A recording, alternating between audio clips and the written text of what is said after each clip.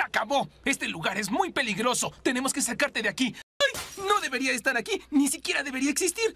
Pero sí existo. Lo que prueba que tú no eres mi abuela. ¿Ya vieron? Ya sabes, la panzota que tienes ahora. ¿Y a quién apoyo? ¿A Estados Unidos o a un país de los puestos de comida rápida?